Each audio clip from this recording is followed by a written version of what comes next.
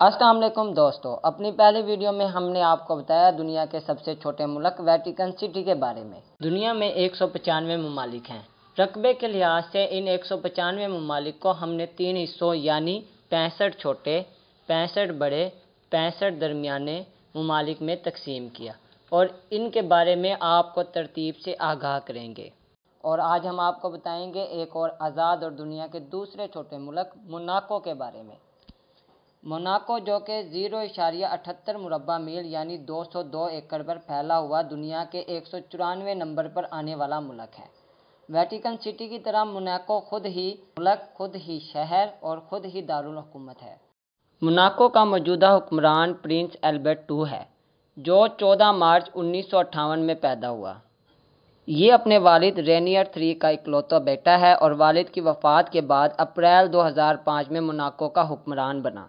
इस मुल्क की कुल आबादी अठतीस हज़ार चार सौ और आबादी के लिहाज से ये मुल्क एक सौ उनानवे नंबर पर है। मोनाको की करेंसी यूरो है, एक यूरो पाकिस्तानी एक सौ सैंतीस इशारिया छत्तीस रुपयों और उनासी इशारिया तिरासी इंडियन रुपयों के बराबर है। प्लस तीन सौ सतहत्तर calling code M C country domain name है। फ्रांसीसी और मुनैकवी मुनाको की सरकारी ज़ुबानें हैं। इन दो ज़ुबानों के अलावा इटालियन और अंग्रेज़ी ज़ुबान का ज़्यादा इस्तेमाल किया जाता है। इस मुल्क का सबसे बड़ा मज़हब मसीहत है, जिसे तिरासी इशारिया दो फ़ीसद लोग मानते हैं। मोनाको यूनानी ज़ुबान का लफ्ज़ है, जिसका मतलब अकेले मकान के हैं। मोनाको का परचम बिल्कुल इंडोनेशिया के परचम जैसा है। सिर्फ़ लंबाई और चौड़ाई में ये इंडोनेशिया के परचम से मुख्तलिफ़ है। यहाँ तालीम की शरह निन्यानवे फ़ीसद और औसत उम्र पचासी साल है। मोनाको दो मुरबा किलोमीटर पर होने के बावजूद एक अलग शहर भी रखता है, जिसे मोन्टी कार्लो कहा जाता है। ये शहर ज़ीरो इशारिया इकसठ मुरबा किलोमीटर रकबे पर फैला हुआ और इस शहर की आबादी पंद्रह हज़ार दो सौ है। ये शहर मोनाको शहर के अंदर ही मौजूद है, लेकिन फिर भी इसको अलग शहर माना जाता है। मोनाको मगरबी यूरोप में बहरा रूम के किनारे एक बेहद खूबसूरत मुल्क है, जिसके इर्द गिर्द फ्रांस है, और मोनाको एक कुदरती बंदरगाह भी है। इस मुल्क में सबसे ज़्यादा पसंद किया जाने वाला खेल फुटबॉल है, जबकि कार रेस को भी इस मुल्क में खेल का दर्जा हासिल है, और दीगर खेलों में रकबी साइकिल रेस और स्विमिंग सबसे ज़्यादा अहम है। मोनाको ने बारह सौ सतानवे ईस्वी में जैनवा की हाकमियत के तहत ज़िंदगी गुजारी। सतारह सौ सतानवे ईस्वी में रियासत जैनवा का खात्मा हो गया, मगर मोनाको पर सतारह सौ तिरानवे ईस्वी में फ्रांस ने कब्ज़ा कर लिया। सतारह मई अठारह सौ चौदह ईस्वी में मोनाको फ्रांसीसी रियासत से अलग हो गया और सरतीनिया के साथ अलहाक कायम कर लिया। सर्तिनिया, इटली और फ्रांस के कुछ हिस्सों के अलावा मोनाको पर कायम की गई एक रियासत थी। 1961 में मोनाको को आज़ादी मिल गई, मगर आज भी कई तरह से फ्रांस और इटली से जुड़ा हुआ है।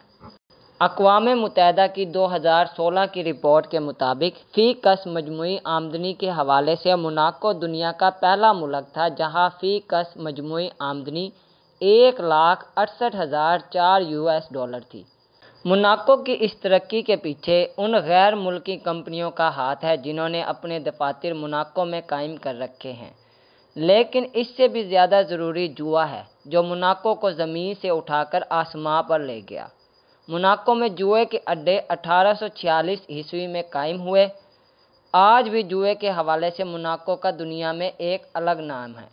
300 के करीब इस मुल्क में मुसलमान आबाद हैं, जो कि तिजारत की गर्ज से आए थे। और फिर यहीं के होकर रह गए।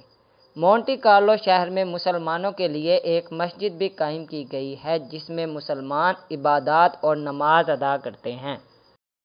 इसके अलावा सियाहत इस मुल्क की आमदनी में इजाफे की बड़ी वजह है। 2016 में इस मुल्क का सफ़र करने वालों की तादाद तीन लाख छत्तीस हज़ार थी। छोटा सा मुल्क होने के बावजूद इस मुल्क में तीन museum oceanographic museum museum of prehistoric anthropology और नेशनल म्यूज़ियम मौजूद हैं। इसके अलावा एक गार्डन एग्जोटिक गार्डन भी है। एक छोटा सा मुल्क होने की वजह से इस मुल्क की अपनी फ़ौज नहीं, बल्कि इसकी हिफाजत की ज़िम्मेदारी फ्रांस की है।